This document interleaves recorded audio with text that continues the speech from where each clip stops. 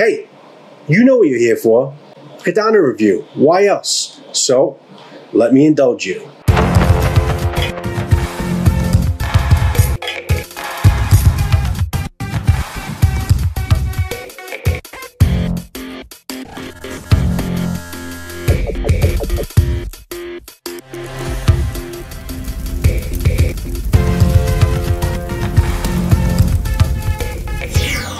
What's up, guys? So, so happy to be here with you guys. And thank you, thank you to all my subscribers, all my supporters, all my new subscribers that are jumping into my shorts. I really do appreciate you, and I appreciate you being here. I love to be able to share my joy with playing with these beautiful pieces of art, which are katana, swords, knives, whatever blades I have in my hand. I have a shitload of fun playing with them and sharing them with you.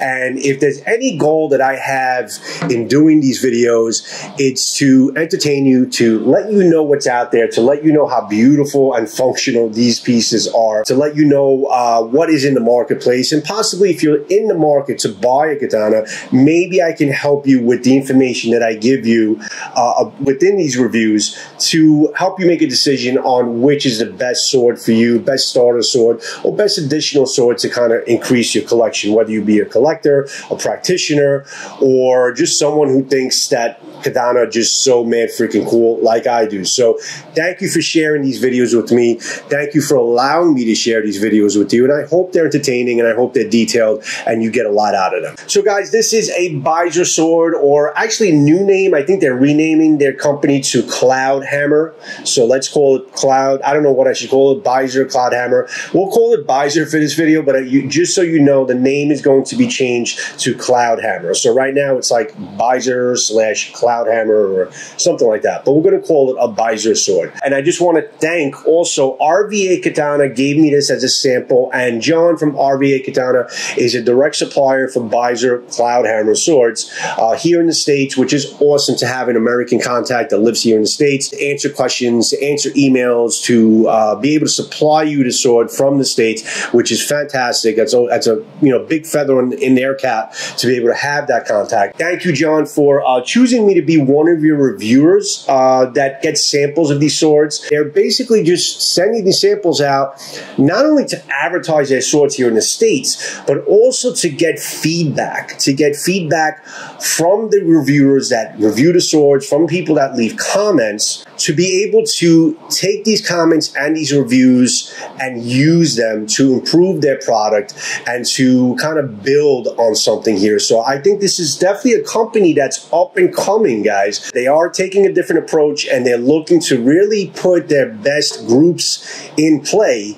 to give you the best product they can give you at a moderately priced type of sword. And not cheap, moderately priced within the 300 and up type of price point, you can get a practical sword, and then it goes up from there depending on the embellishments, the type of steel, and things like that. So, uh, yes, they are up and coming company that you should definitely look out for. Hashtag 22 a day no more. Uh, we're trying to get that number down to zero. One is always too much. To all our veterans, we appreciate you. You have a place here always. And please take care of our veterans out there, guys. So, guys, this is the Byzer Cloud Hammer. Let's get on with the review. I try to take the swords apart in my reviews just to show you what shape the tang or the Nakago is on the inside of the sword. I mean, the part of the sword that you don't see. So here's my makeshift Allen key that's perfectly sized for the Mekugi hole and my rubber hammer and it kind of popped right out. I love the fact that there's one Mekugi peg to force the smith to align the sword the right way and not rely on the two Mekugi pegs. I just like that traditional Japanese uh, Nihonto style of having the one Mekugi peg. I tried the uh, traditional style of uh, kind of removing a sword with kind of just, you know, hitting your wrist to kind of just pop it out, but the sword is a little too tight for it to come out, so I had to go with the rubber hammer, which I really don't like to do, but there's no other way to take it apart. Um, but I don't think that these swords are really meant to take apart because you can see now as I take it apart the uh, Tang or the Nakago and what shape it's in. So finally I did get it apart. It did slide off pretty easily. Uh, there's nothing obstructing the uh, pieces from sliding out, which is pretty good. And uh, that is in the Nakago there. Here's uh, the uh, Tsuba pretty iron piece. Uh, I think that copper seppas, you know, they're marred up a little bit, but they're pretty straight, pretty even. I attempted to try and get the habaki off, but I gotta tell you, it was so tight that I really didn't want to attempt it. It's uh, it's just really wedged on there. I mean, I tried a little bit with the rubber hammer to see if it would kind of dislodge a little bit, but it was really tightly fit on there, and I did not want to force it because this sword is a loner, so it is going back. But there is the tang or the Nakago. You notice there are some rust marks. It is it what there was an attempt in kind of grinding this down a little bit, but you can see a lot of little rust marks there. You notice there's absolutely no Mei signature there. There's no signature of, of the smith that made up the sword, which is always a welcome feature to see on a Nakago. But, you know, within the $300 price point, I was expecting a little bit better, but for the most part, it is pretty good. I've seen other Nakagos or Tangs that are a lot worse shape than this. So this is at, all in all, it's not bad. I really would have liked to have the Habaki come apart, but it didn't. You notice a little close up there, you notice there are some spaces between the blade and the habaki. The best way to do it, and the best quality way of doing it, is to really fit the habaki onto the blade, and there is some space there, but it's still pretty good. It's tight. Here's another close-up look of the uh, Tsuba. Solid iron piece. Uh, doesn't bend. You can feel it. Feel the weight. Uh, the casting is pretty good. I'll get some some close-ups when we do more uh, of the the sword details. But uh, yeah, this is pretty much bare bones. The Tsuba. Here's a kangaroo on one side, and the tiger, which signifies the motif of the year. The tiger on the other side. It's uh, not bad. A little cartoonish. You know, it's a casting, but it, it's good. I mean, it fits motif. It's not too bad. Here is the actual Tsuka, the wood handle. Um, I don't know. The wood is has a couple little puncher holes or spaces. It doesn't look like it's too solid, but it's you know suffices. It, it does its job. But uh, there is some spaces in the wood grain that I would not I would not like to see. It's but all in all, it's pretty good. It's a pretty good cutout. You notice how the uh, Samegawa was kind of just pasted on, not really cut into the shape of the wood on a quality sword. You also see a little chip in the wood there. Uh, doesn't seem to be running into a crack, but the um, skin is not shaped into the wood. And on a quality, a really high price quality sword, you see that done shaped into the wood a little bit better. But for all intents and purposes, the Ito is tight. It doesn't move.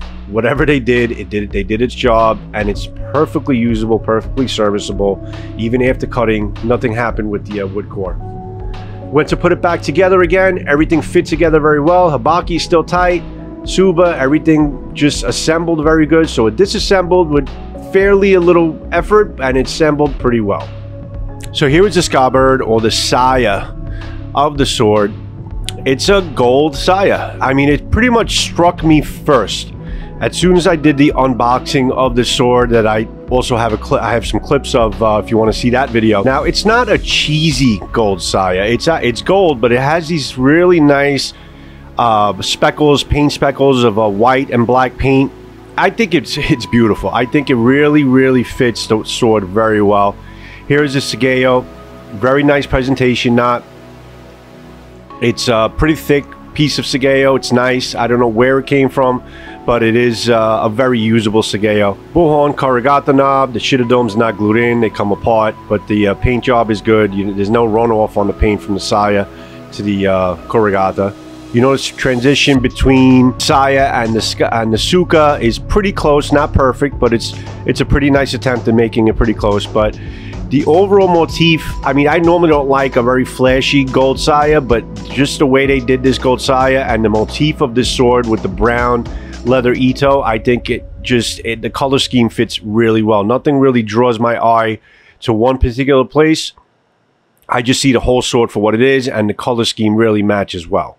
I like the Tsuka. I really love the uh, diamonds. The uh, diamonds are pretty even. I mean, you can see they're not perfectly aligned. I mean, you can see the points are a little higher and lower. Uh, you see this the three are higher, then the next three are a little bit lower.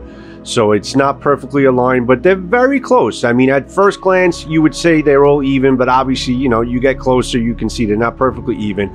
But uh, listen, at the price of the sword in the $300 range, this is what I would expect to see.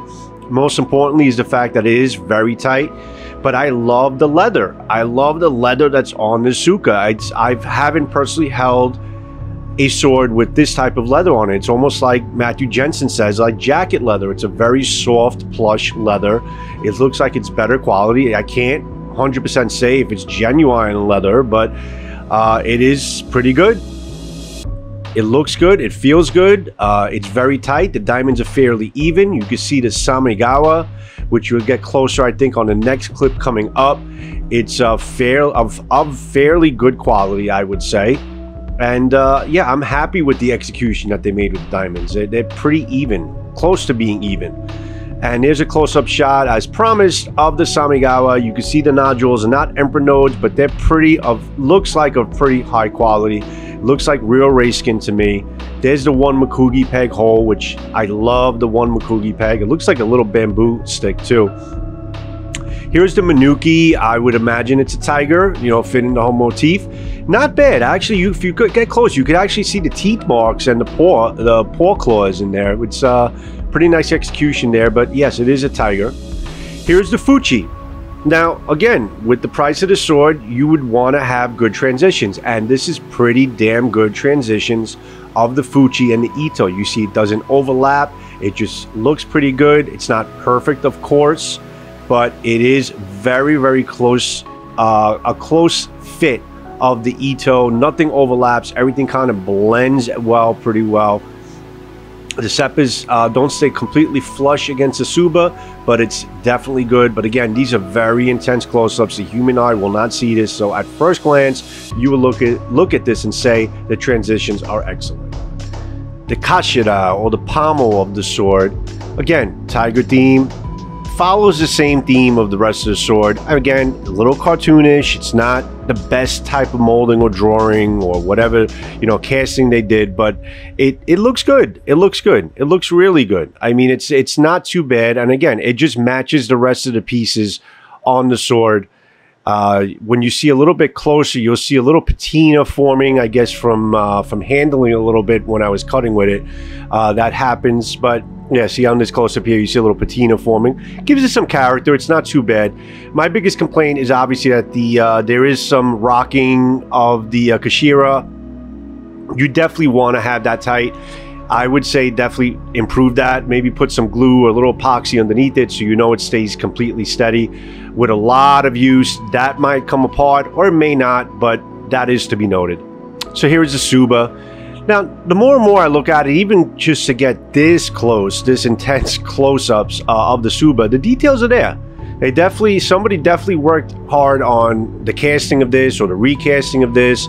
It looks actually like a new casting that they haven't used much, but it, it is pretty good. You can see a little bit of the details of like a jungle scene with the tiger. It kind of tells a story, you know, of the year of the tiger. And I, I kind of really like it. I'm kind of actually digging this uh, Tsuba a little bit more as I get closer. You can see some details that attempts at details that they put into it. And there's the opponent side of the Tsuba with the kangaroo and some leaves and trees and some little carvings into the tsuba as well. Um, yeah, I'm actually digging this a lot more as I actually see the close-ups. It, it looks pretty damn good. Not bad at all. It's a pretty standard Habaki. I don't see any, you know, the, the uh, finish work on it is pretty good. It's clean. It fits the blade, fits a little too tightly on the blade. I couldn't take it apart, but it's a pretty standard Habaki. Very clean look to it, and uh, it does its job, and it fits very well into the saya. So, uh, what more could you ask for uh, this type of price point? But it is just, to be noted, a very standardized Habaki that you find on pretty much many of the production swords out there. I'm curious to see if they change up their Habakis on maybe some of the higher uh, price swords that Byzer or Cloudhammer sells. The perfect test of the execution of how well they fit the habaki onto the blade is if you could get a fingernail or how much of your fingernail you can get in between the habaki and the blade. And I could definitely get very easily my fingernail throughout the entire habaki into the, the bohi. And, uh, well, listen, you, you, uh, you really only see that type of work done on a very high price sword. So at this price sword, it uh, again habaki is is executed well and it does its job but uh, yes to be noted there is some space between the habaki and the blade the soul of the katana the nagasa the blade this is a 51 crv4 german spring steel Now, there's not a lot of things to see on the steel. It's a pretty clean execution. The polish is pretty is good. Uh, as you see the close-up shots of the blade, you'll see some of the uh, polishing lines or the grinding lines that are not. Uh, you see the lines in the steel. I don't know if that's more of a characteristic on spring steel that you can see those as being a little bit more prominent, but at first glance, it is a pretty clean execution with the uh, blade and the uh. It has a bohi. The execution on the bohi terminates pretty close on each side. The Kissaki termination is pretty good. The line is okay, not great, but it's okay. But uh, all in all, it's a pretty nice, clean sheet of spring steel, uh, polished pretty well. And as you know, or you don't know, spring steel is a great type of steel for beginners beginner sword handlers because it does spring back into place, uh, which was great for me because I had a lot of bad cuts when I was cutting with this, you know, out of practice, which is great for uh, people who are not that experienced in, in swinging a sword and having bad cuts and not having to worry as much if the sword is going to basically uh, take a misaligned shot on a target and it'll more break on you before it bends. This will definitely bend a great deal before it breaks. So this is great, great beginner steel, uh, spring steel, and this is specifically a 51 CRV for German spring steel.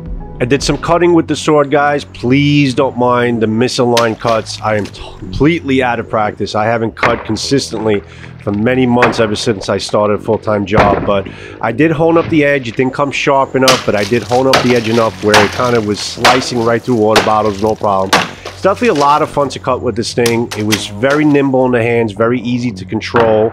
When I had edge alignment, it was really sailing through targets pretty well. I was very happy swinging this sword around.